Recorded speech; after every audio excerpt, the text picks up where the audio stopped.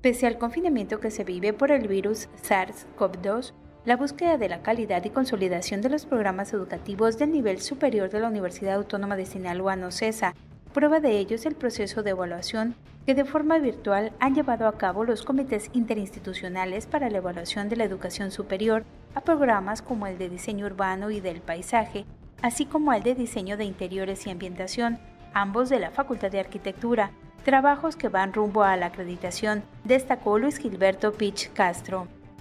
El secretario académico de la UAS dio a conocer que estas evaluaciones realizadas por organismos externos se llevaron a cabo la semana pasada en el marco de la realización del tercer informe de labores del doctor Juan Eulogio Guerraliera, quedando pendiente en los próximos días la evaluación del programa de la Facultad de Biología. Eso quiere decir que las evaluaciones del nivel superior, del aseguramiento de la calidad, continúan en esta nueva realidad que es el trabajo a distancia y a través de los medios digitales. El funcionario universitario señaló que son varios los puntos que se evalúan en este tipo de procesos rumbo a la acreditación, por lo que el trabajo de escuelas y facultades debe ser muy preciso y riguroso al momento de presentar evidencias para lograr la aprobación de los organismos evaluadores externos continúan evaluando las mismas categorías y los mismos conceptos. Es decir, hay una evaluación integral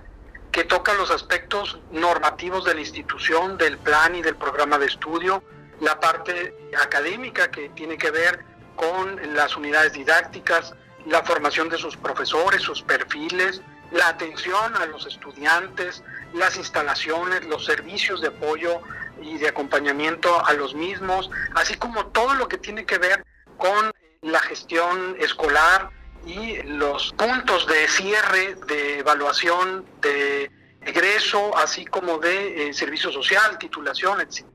Toda la evaluación gira precisamente a un resultado óptimo de la combinación de esfuerzos de la institución para cumplir con el objetivo que es el dar una educación de calidad.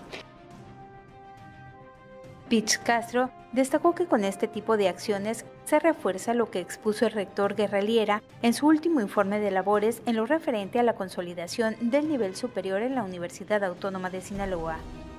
En el nivel superior hemos obtenido o refrendado numerosas constancias de acreditación de nuestros programas de licenciatura, al igual que en el posgrado. Asimismo, el secretario académico de la máxima casa de estudios sinaloense dio a conocer que aparte de estas evaluaciones de arquitectura y biología, se han entregado más de 10 informes de autoevaluación a los distintos organismos reconocidos por el COPAES, por lo que se está a la espera de que los comités tengan las condiciones para poder revisar las evaluaciones de forma virtual para que se pueda llevar a cabo el proceso. Universidad Autónoma de Sinaloa